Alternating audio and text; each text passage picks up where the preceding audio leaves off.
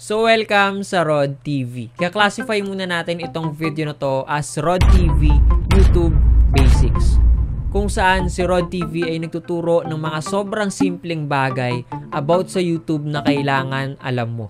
And sa video nga na ito, ituturo ko sa inyo kung paano mag-off or paano i-disable yung comment section gamit yung mga cellphone nyo. Pero bago yon shoutout muna kay shoutout kay Mac Pernya, kay Tons Fishing Adventure, and kay Creative Work 2.0.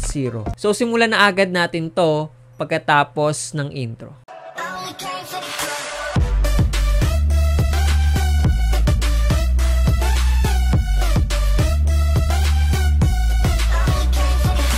Hi guys, ako si Rod TV. Gumagawa ko ng mga YouTube tips and YouTube tutorials. So kung gusto nyo ng ganong klaseng content, feel free na bumisita sa aking YouTube channel and i-check yung mga videos na ginagawa ko. Okay guys, kailangan naka-install muna kayo ng YouTube Studio app dahil doon natin yon gagawin.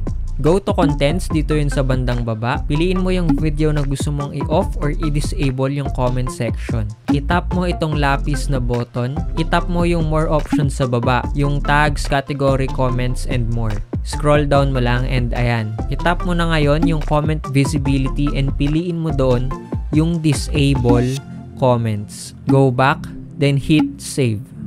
And ayun, ganun lang siya ka-basic. Pwede mo rin ito gawin sa iba mo pang video at sundan mo lang yung steps na ginawa natin kanina. Guys, gusto ko malaman sa comment section kung naranasan nyo na bang mag-disable ng comment section sa mga videos nyo or hindi mo pa natatry. I-comment mo yun sa baba at yun, lagyan mo rin ng hashtag RodTV pa shoutout para sa next ko pong video, masya shoutout po kita. Again, this is Rod TV.